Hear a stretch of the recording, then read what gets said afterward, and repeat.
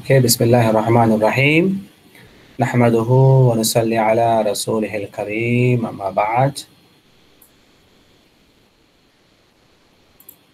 So in our last class, last week, uh, Alhamdulillah, we discussed uh, Imam Abu Yusuf and his um, his background, his uh, period of time that he was living, and also his own methodology, how he was looking into, you know, his uh, his work, and how he was able to uh, do his work, and what was his relationship with Imam Abu Hanifa, and we also talked about especially the Hanafites, their background, and uh, why they are being they are called they were called uh, Ahlul Ra'y and then we have Imam Malik and their followers and why they were called Ahlul Hadith right? So I think we talked about Kufa the methodology of Kufa and we talked about the methodology of uh, Medina right? So all these things we talked about it. Now I think we need to go into his book. It's magnum opus uh, Kitab al-Kharaj right? So that is what uh, today uh, we're going to talk about the contents of al-kharaj and also we are going to um, uh, we are going to um, discuss one issue from the book and um, how he was able to uh, bring that issue out and how he was able to solve the problems and how is that is going to be uh, helpful for us through this class. How is that? What, what is there actually for us to learn and how we should actually react? Um, uh, how do we actually uh, use quran and sunnah and athar and qiyas ijma and qiyas you know? How we actually can come into contemporary uh, we can actually apply those things. You know these are the things uh, we are we are going to learn today so um, let me start with uh, you know this uh, the word itself all right? Kharaj. Uh, what exactly haraj means? Because this is a very famous word. Al haraj simply means taxes all right?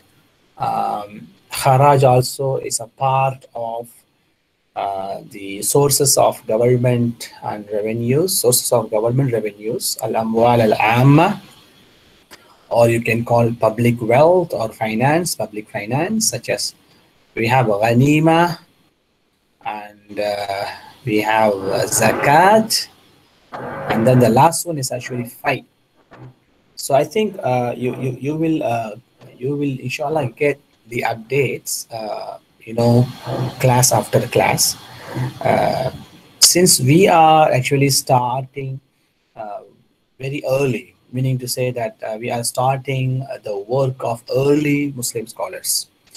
But by the time you know you go for the second the next centuries to next centuries to next centuries the things will be more clear. You know we are talking about the time that everybody has their own ijtihad and every ruler want to follow their own. There was a no uh, single system. Everybody has their own system. And uh, that's the reason why uh, you know there was um, what do they call it in malay? They call the word kalankabut there was kalankabut there was all mixed up.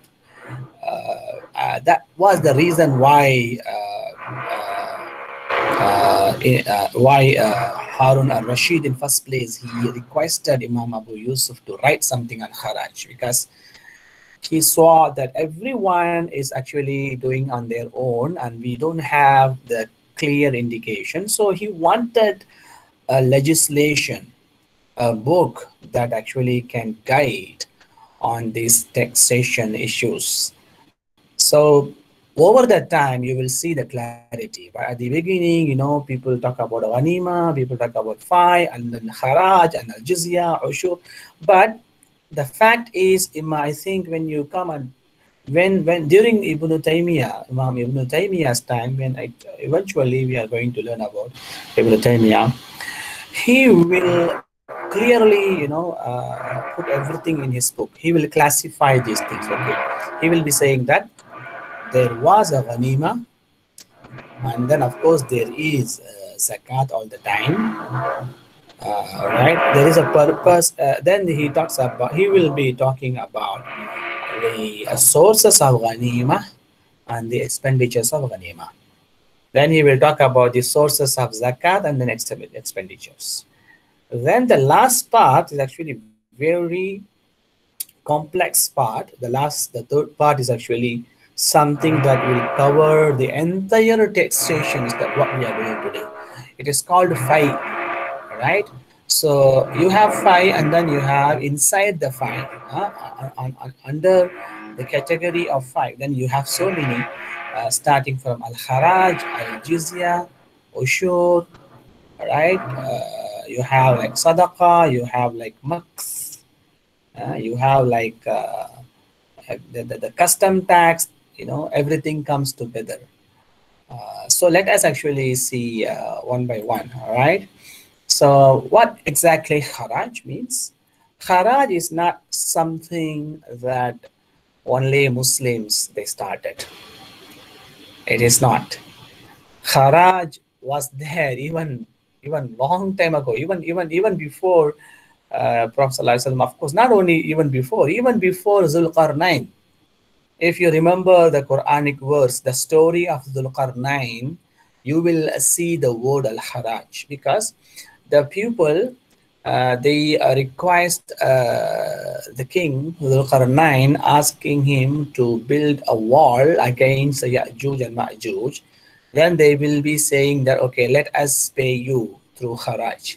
so the word Haraj is already there. So even pre-Islamic the word Haraj was there it's not something new. So if you if anybody uh, want your land and uh, from the land you have to pay taxes every year. All right? This is what haraj actually basically haraj means. All right? Then you have a jizya. You can call it jizya poll tax. This jizya is actually something um, it's a kind of punishment. All right? Because uh, we won your country we uh, muslims came to your country they won the battle but you still non-muslim you are not uh, you are not accepting Islam, then you can actually become a zimmi. It's called a zimmi. It means that you are under the protection of Muslims. You are actually harbi and zimmi, two different things. Harbi and zimmi, both of them non-Muslims, but harbi is the one who lives in uh, a non-Muslim country, but uh, He's a non-Muslim but living in non-Muslim country. is also an enemy of Islam, Harbi, the one who is ready to fight with his Muslims. zimmi, the one who is a non-Muslim but lives in Muslim country. Uh, so he did not uh, accept Islam, so he has to pay jizya. It will be counted per head. All right. So as long as he is who wants to stay under the protection of Muslims, he can actually has to he has to pay he has to pay uh, jizya. But the moment he accept Islam, he doesn't need to pay jizya. He will be a free man. Uh, that is what actually jizya means. Then you have ushur. All right. So now when I talk about ushur, remember uh, ushur is not uh, one thing. There is one more, which is ushur right? Ushur is actually Ain Sheen Ram, Ra, which is actually one uh, tenth, they call it. All right, so you have uh, one portion, but you make into 10. Then the 10th portion called one tenth is called Ushur. This Ushur usually comes from Sadaqah, from Zakat actually. You know, um, if you have uh, farm, farming land and you have the harvesting, the crops, then you are supposed to pay uh, 5% if you have the irrigation, the water irrigation, but you have to pay 10% if you don't have the irrigation. It is called ushur. But it is different from ushur. All right.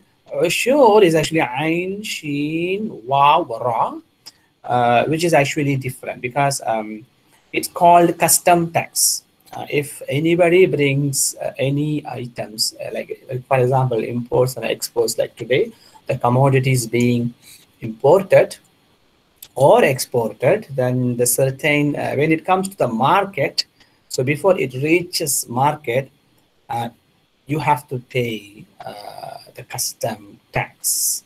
All right. again, um, this uh, ushur also similar to kharaj.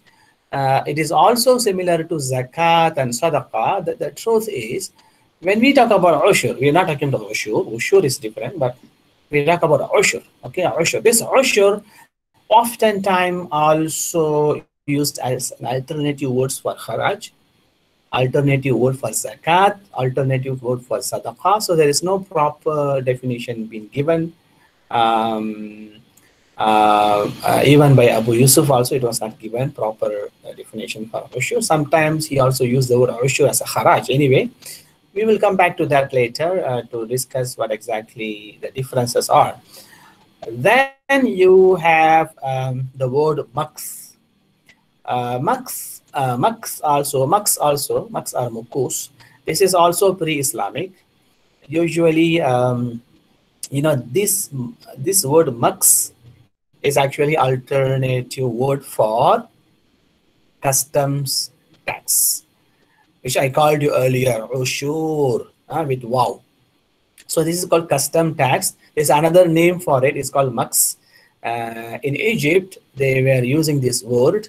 Uh, usually, uh, you know, uh, when uh, the cultivation and harvesting is over, and then when they bring those cultivations uh, crops to the market, uh, they uh, the, the, the, government will will ask the, the, the, the business people, the one who bring the traders, they ask the traders to pay the maks.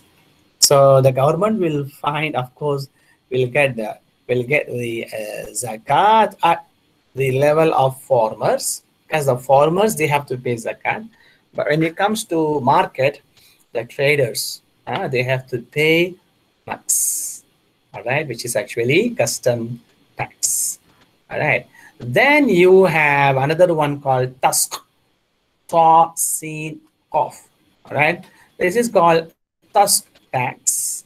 So this uh, tasq is actually what exactly it is. Uh, you know, the government is actually may give some uh, uh lands uh, for uh, as a rental basis. You know, the government may give you some some lands so that you can work on it and you can do uh, you can manufacture something using that land or you can do some agriculture product using that land. But it's like it's a borrowed land from the government. It's not yours but still you have to pay taxes every year. So this is all called the then you have zakat and uh, sadaqah. I think all these things you, you you already know. So this is what basically uh, this uh, means uh, the specific to land. I mean, the, the, the, the al-amwal al-amma, we call it sources of government revenues. So everything that we have today, whatever the taxation system that we have, of course, it was actually there. From there only the modern tax system came came into existence. So now uh, we are going to talk about uh, the the original contents of Kitab al-Kharaj. I think uh, I, I really love to, you know, um, uh, read uh, the entire book. It is, of course, the book is in Arabic. of course, also it's been translated by Bin Shams. Um, but, but but I really love to read, you know, the, the entire book to you and then see what he has done. But uh, I don't think time permits. Uh, that's because every week we have to finish a scholar. So meaning to say uh, we have around uh, 12 to 14 scholars to finish. So that's the reason why I want to just uh, go with uh, one issue that I read from the book and I want to uh, share with you that one content of the book. All right, the rest all I, the rest all I think you can go through through the slides and you can read. So what I want to um, the reason I'm telling you this uh, this issue this this one content of the book uh, so that you actually can understand how um, how ijtihad should be done, uh, how ijtihad should be uh, you know, uh, should be formulated, should be should be uh, what is what is the formation of ijtihad? You know, it has to be from Quran and Sunnah, how, and how it should be uh, presented to the current government. All right. So uh, before I start the issue, I mean, I start one of the content of the book. I would like to give you uh, give this uh, kind of taste, you know, uh, what happened uh, during one time, because this is what I'm. I, I, want to also bring the methodology of Abu Yusuf. So you see, um, um, once this is just a taste to see his methodology of how he looks things. All right. So once one friend of Imam Abu Yusuf, he brought, uh, he said, uh, he, he, he, he, he conveyed a, a, a, hadith, all right, uh, while uh, Imam Abu Yusuf was getting some gift. All right. So Abu Yusuf was getting, received some gift perhaps maybe from friends or some other people. Then this friend came and said, do you know the hadith? Prophet ﷺ said, if you receive any gift, you must share with your friends, right? Uh, the hadith talks about your gift must be shared with your friends. Then Imam Abu Yusuf replied to him, uh, I know this hadith, but you didn't understand the hadith. The hadith, the context of the hadith is talks about the milk and dates. If you receive milk and dates as gift, then you should share with others because milk and dates, first of all, you cannot keep it for long. But second of all, it is quite important food for everybody. So milk and dates should be, if it is, so now the context of the hadith if other than that if someone gives you money if someone gives you uh, for example your some dress or someone gives you some other thing other other things other than the food then you don't have to share everything that because this is yours it's been given to you then you can actually keep it is good you share but not necessary it is it is compulsory on you to share. But if it is food items better compulsory on youtube so i just want to give you this idea you know how he can understand the context of hadith anyway coming back to one of the content of kitab al-haraj uh, I was it was quite interesting for me when I was reading. Uh, there is there, there, there was a chapter called Safavid. All right, so I want everyone to concentrate what I'm saying. Okay, this is sometimes uh, it may take you somewhere. I mean, I don't want you to lose. If you lose the please stop me so that I can repeat. Uh, this is the topic of Safavid land. What, what means Sawad? Sorry, Sawad land. What means Sawad? Sawad means, of course, the meaning is actually black, but it doesn't mean black here. Sawad means um, there, uh, you know, um, during uh, Abu Yusuf time, uh, sorry, during Hazrat Umar ibn Khattab, not Abu Yusuf, Abu Yusuf came later. During the second Khalifa, Umar ibn Khattab, which is actually Hijri, within Hijri 20 or something, within within 20, right? Because Imam Abu Yusuf came after 100 years. Imagine, I'm I'm bringing you the the the the the, the, uh, the story of uh, Hazrat Umar, which actually Imam Abu Yusuf narrating the story in his book. He says that um, uh, the Sawad land issue came to Hazrat Umar usually uh, any land comes to uh, any land captured by Muslims. Because every time they go to war they capture land. And every time uh, uh land has been captured by Muslim the land always will be given to Muhajirin. All right because it was the Prophet sallallahu alaihi wasallam's practice. Okay you got me the practice was this. Any new land comes, the land must be given to Muhajirin. It was the practice of Sallallahu Alaihi Wasallam. Sallallahu Alaihi Wasallam didn't say this. Actually, you get the land, you have to give it. It was what Prophet used to do when he was alive. So now, during the second Khalifa Hazrat Umar, uh, there was a Sawad land the Sawad land means uh, it's, it's a green land, they call it. Green means uh, during um, during his time, there was the Iraq, uh, after Kufa, Iraq, there were uh, borders in Iraq. From those borders, um, the new, this is called new expansion, right?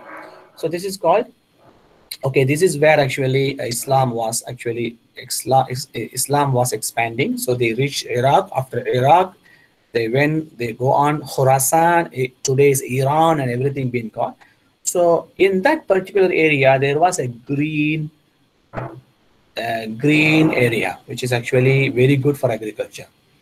So now, um, according to Imam Bilal, Hazrat Bilal, and also uh, according to Abdul Abdurrahman ibn Auf, they came and told, uh, we got this land and this land must be given to Muhajirin. Of course, Bilal and Abdurrahman ibn Auf, both of them Muhajirin. You know this, this, these two people, they came from Makkah.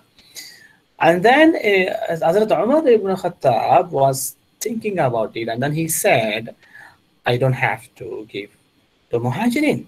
And then uh, Bilal and uh, uh, Abdurrahman ibn Auf said, how come you do something against uh, Prophet ﷺ practice? He said, do you, do you, you know that what Allah subhanahu wa ta'ala says in Quran, ma afa Allahu. If you, if you look at the word ma afa Allahu, this uh, this word Allah when Allah say whatever that uh, Allah is giving you as a gift uh, through the wars this is for everybody. Allah says Allahu. Allah says for everybody not only for muhajirin. He says for muhajirin ansar and all Muslims.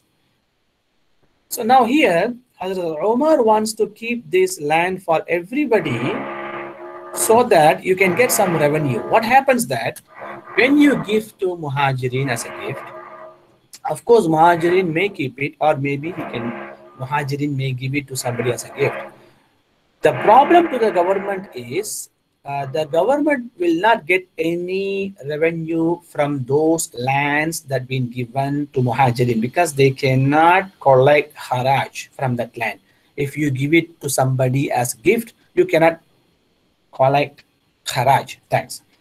Hazrat Umar was thinking if I give this land to the same people from where we took it, because those people, they know the land, those people, they've been doing the agriculture, and then it is also a kind of support to the same people so that the same people will continue to do the agriculture and then they can also send the taxes to Medina, the taxes to Hazrat Umar ibn Khattab. This idea was actually came to Hazrat Umar ibn Khattab.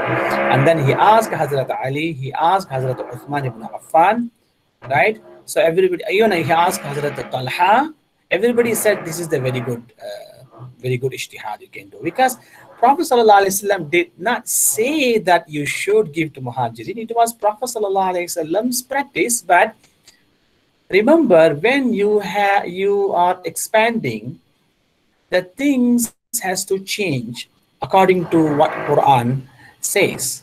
So now what Hazrat Umar did was right at that time. Not only that, he also brought this idea of, you know, those people who are going to get Safat land, if they are really, really very much poor, then they have to pay only 12 dirhams per year.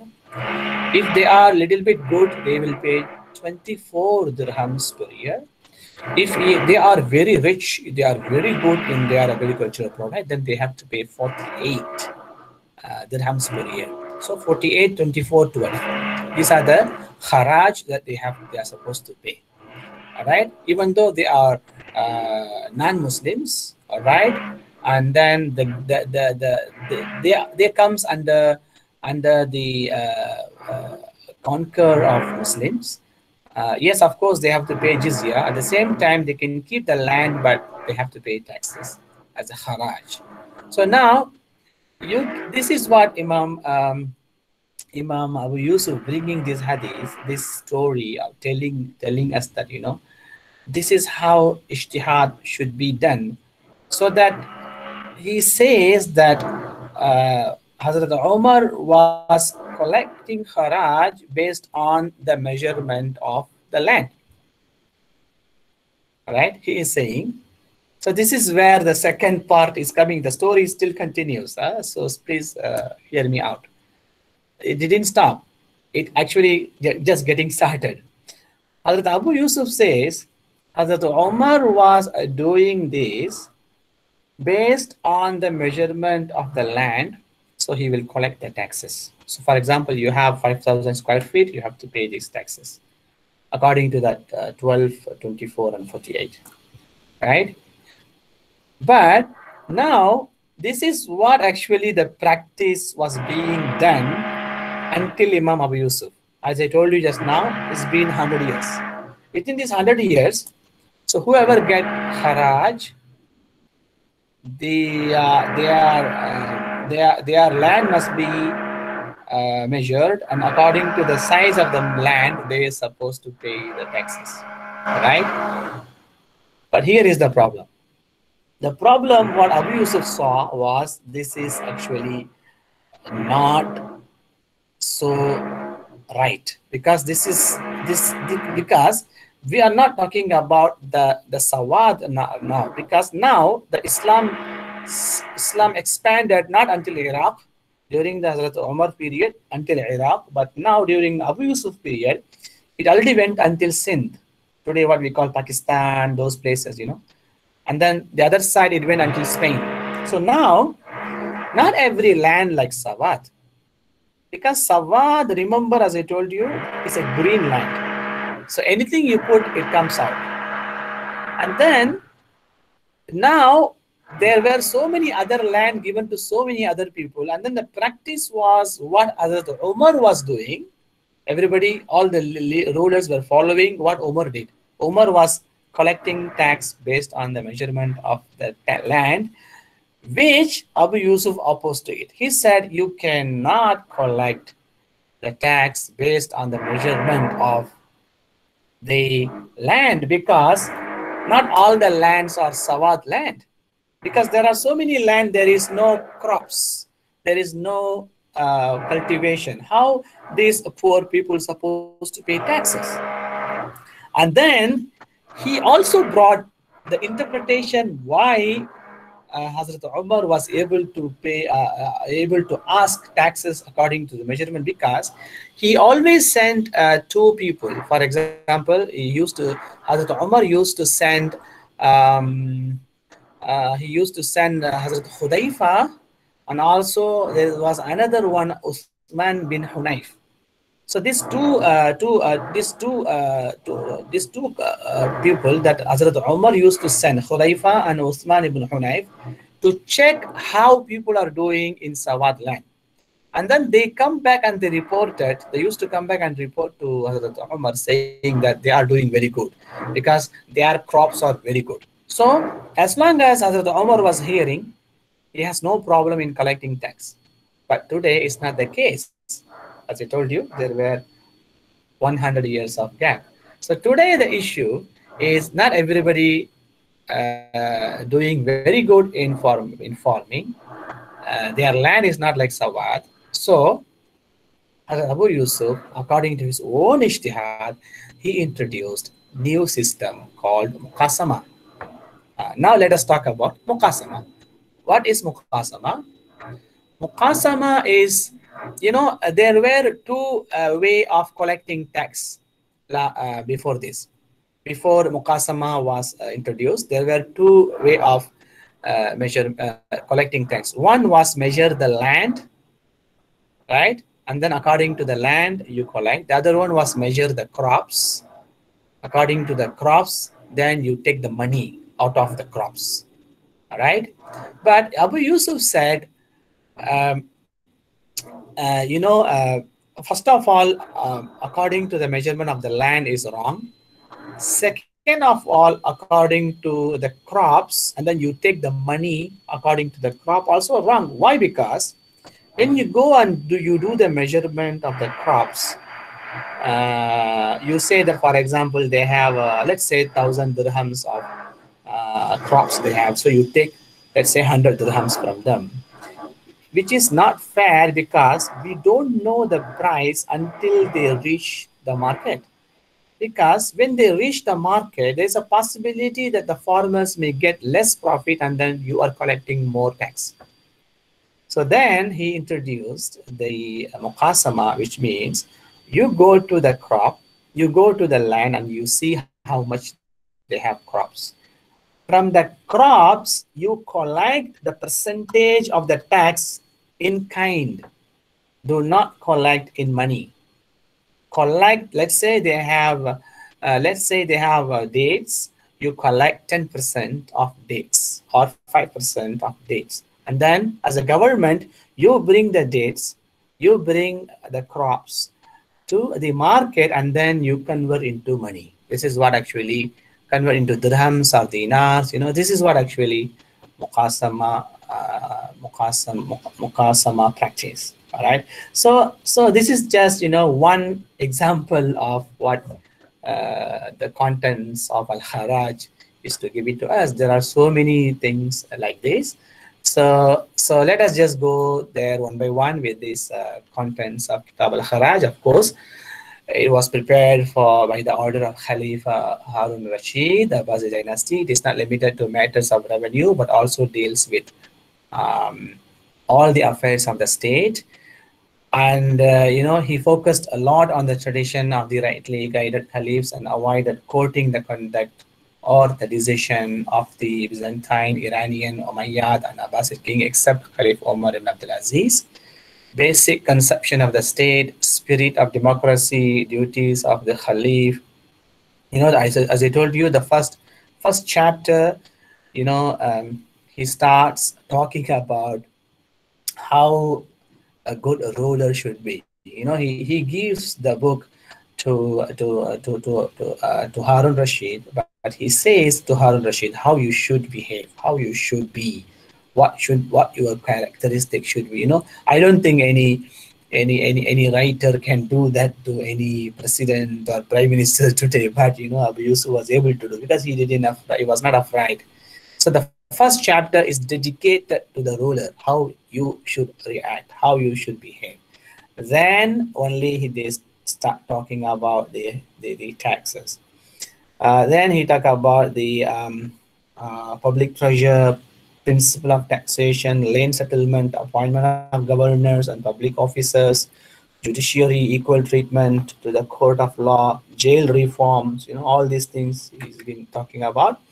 Then uh, this is what we have in the economic ideas in Kitab al-Kharaj, uh, such as taxation, today what we call taxation, public finance, agricultural production and prices, everything is was there, all right? Because he considers uh, the land as the source of wealth, right? So, you know, you remember this, uh, this statement, uh, we talk about the land as a source of wealth, you know, when we discuss the physiocracy, uh, we talked the French physiocrats. We talk about his right land as the source of wealth, but it was just uh, thousands and thousands of years ago. Imam Abu Yusuf already talked about it, right? He made detailed suggestion on socio-economic infrastructure and public work and showed to meet developmental expenditures on building bridges, dams, and irrigation works, economic responsibilities of the state toward economic welfare of the people, water supply, fisheries, forest and pasture lands, and the ruler's duty to regard public money as a trust. You see, all these things he was able to talk about it, which was actually not exactly available in Quran and Sunnah. You know, how water supply should be, how fisheries should be, how forest, how pastures land should be, uh, should, should, uh, should be protected or, or or safeguarded. All these information so it comes from the ijtihad. It comes from the ijtihad. The origin it comes the original idea he was able to get it from quran and sunnah and then he was able to make his own so that is what actually uh, his his strength right uh, this is what we need to learn today that whatever that we are uh, doing in today so we have to look into that way and then we need to think and we need to become uh, the expertise in that. Uh, that is what actually today we needed. So this is the part where we uh, we actually let it go. We actually, you know, we, we, we, forgot to do that.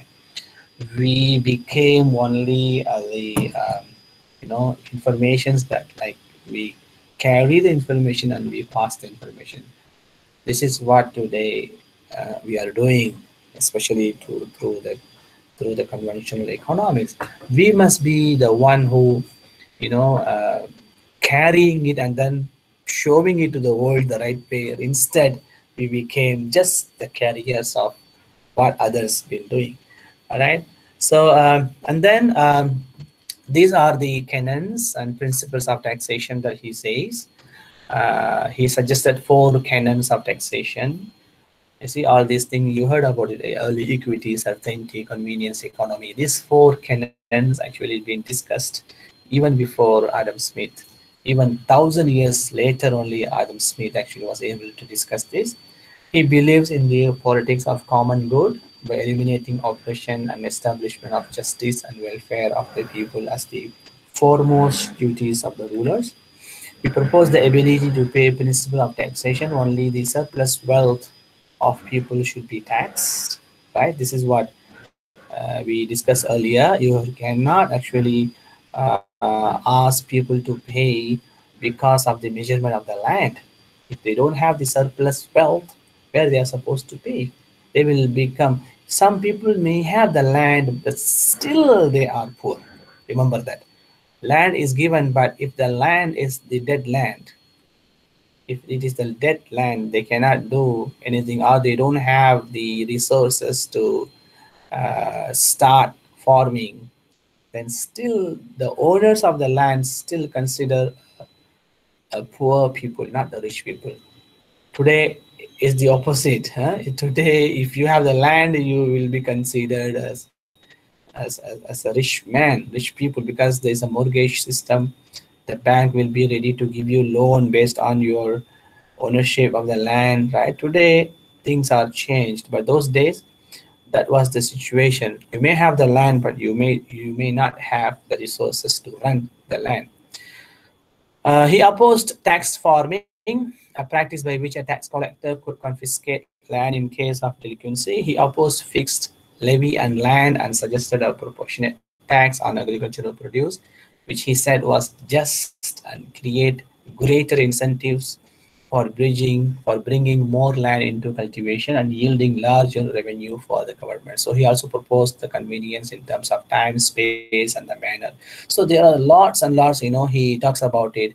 He talks about the uh, reducing the corruption. He talks about the centralized tax administration. Even he talks about the supervised salary workers, you know. Um, and then also uh, so many things. If you can just go through one by one you know you can you can read all these things. Uh, he also there the, the, the book itself uh, talks about ghanima kharaj jizya wealth acquired. There are so many uh, if you can see uh, there is also um, you know uh, talks about there's also a talk he talks about those soldiers who been into war how you supposed to help them you know if they are disabled or something. So which fund you should give it to them. This has all been been the subject of those days. Other economic issues like you know the, uh, he opposed price control which we call tasa'ir by the ruler as it was normal among scholars in islamic economic thought to free the market of holding monopoly and leave the determination of prices to the forces of supply and demand. I think that's all from me. So this is um, the uh, attendance today.